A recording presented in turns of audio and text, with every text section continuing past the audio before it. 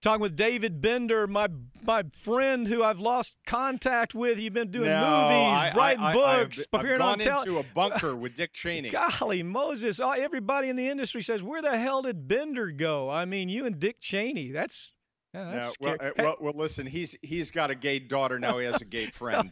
okay. Uh, hey, let, look. let- let- let me let me tell you something. We were talking about this before the break. You mentioned Robert Thomson at uh, at the Wall Street Journal. There's also a guy named Les Hinton. Oh, Les yeah. Hinton is at the core of this scandal, and Rupert sent him over to become CEO of Dow Jones. Now, remember, there, you talk about how this global empire, this Murdoch global empire of, of News Corp, has extended its reach, and he has been trying actually to have greater influence, even in places like China. He is going far afield. One of the things that's been on hold now, Mike, and it's very, very interesting.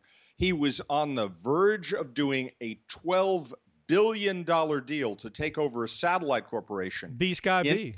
B Sky B in in Great Britain. That is now on hold for at least six months, and frankly, It may be that bet- satellite may be dead. It may be better than that. Here's where here's where the good news of this starts. Right now, Murdoch owns about 38, 39 percent of B uh, of BSkyB.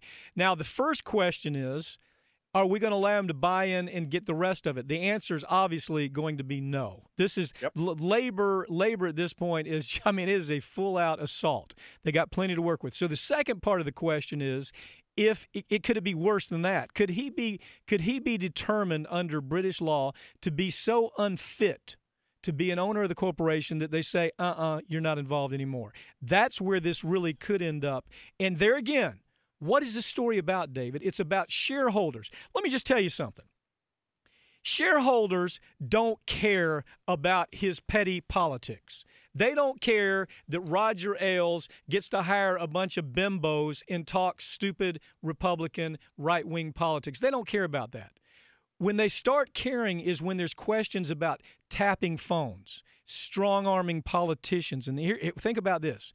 You really think they were just tapping politicians' phones so they could do kind of a newsy, kind of silly stories. Uh, uh they're tapping the phones because my bet is they were using that information the same way J. Edgar Hoover would use against politicians. I've got this on you. Are you sure you want to vote that way? That's where I think it'll end. I don't know that, but I think that's where we're going to end. It's not it's not a bad guess, and it's a great comparison. And one of the things we learned towards you know just as this thing is unraveling was that Gordon Brown, who had been Chancellor of the Exchequer, which is the equivalent of Treasury Secretary, and then he became Prime Minister.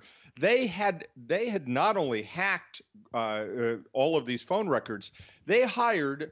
This is news of the world now. They hired a private investigator to pretend he was Gordon Brown get uh, got this guy on the telephone with Gordon Brown's banker, posing as Gordon Brown, the the the, the head of the Treasury, the Prime Minister of the country, and got his bank records. Managed to get information about his newborn son who had cystic fibrosis. They Yeah. got all of this information as a way of using leverage, just as you say.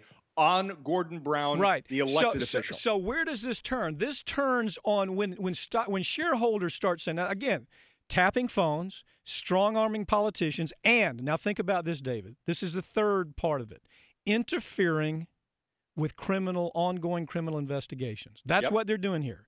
And so what we have now is we have the shareholders so you you should read the 45 page complaint that has been filed against News Corp. In there they say the reason we have to end this Murdoch dynasty is because we're losing money to the tune of 11% over the last 10 years when everybody else is making money in the same similar kind of industry and and we're concerned that the conduct of leadership at this corporation it could could approach being so dishonest and so criminal that it could cost us our entire corporation. So so that's where this is going. Now, you can bet Hannity and Fox and Friends, they're not going to be spending much time talking about this. Matter I'm of fact, sure fu- they spend hey, any time let me read, let me read this. something to you today. It's a funny thing. I, I you know Fox Fox loves to have me on and they love to get me on there and you know try to you know four against five against one. So I wrote him this email today and I said, look guys. Um, here it is. Let me come on and talk about Murdoch phone tapping scandals. It would be fun, really. Your friend Pap. Now, I, I, haven't heard back from him. But the point is this we don't need Fox to talk about it because the internet is exploded. And you know the questions they're asking? Here they are. Did Murdoch and his son James know specifically that News Corporation was tapping private phone conversations? And were they using that information for more than illegal news gathering? Were they visiting, were they using private information they gathered on politicians as a way to strong arm decisions by the politicians? The other question is what involvement, if any, does this Thomson guy have with the Wall Street Journal? Did yeah. was he in did he comes from the same culture? Did he come up with these illegal scams and is the Wall Street Journal using it? Or how about this? How much money has the News Corp paid to keep a lid on this story for years? Who was paid? Who, who were the wiretap tap victims who were paid to shut up? Who were they? How much were they paid? Did those payoffs constitute illegal interference with an ongoing criminal investigation that was taking place?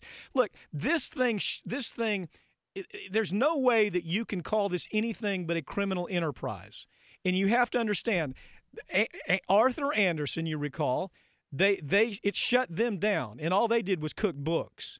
Tyco was, International. This was, this was Enron, right? Yeah, Enron. Tyco International. Same deal. All they did was cook books. Hey, Dave, let's take a quick break. We're going to be back and talk about this some more. This is a great story.